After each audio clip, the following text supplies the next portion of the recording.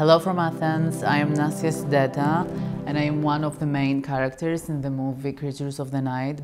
I play a trans girl who's being hunted on the street by a group of men and is rescued by the main protagonist. A few words about the film.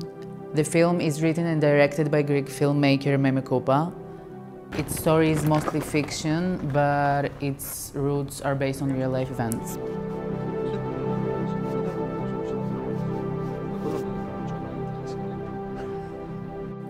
In September 2018, a young man, human and queer rights activist and famous drag persona, was brutally murdered in one of the busiest streets of Athens, Greece.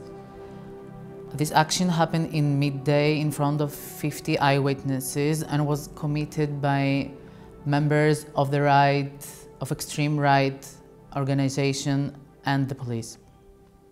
This hate crime was one of the many the transphobic and racist crimes that happened during the financial crisis in Greece and shook our world and that of our fellow Athenians who until that day thought that Athens was a safe and humane environment.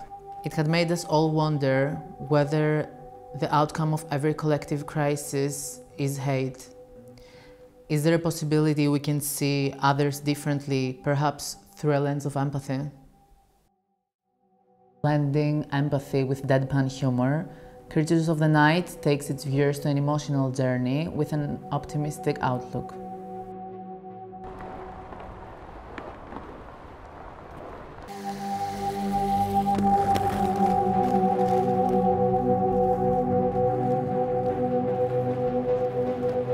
I hope you will enjoy the film as much as me and the whole production team enjoyed making it. Bye!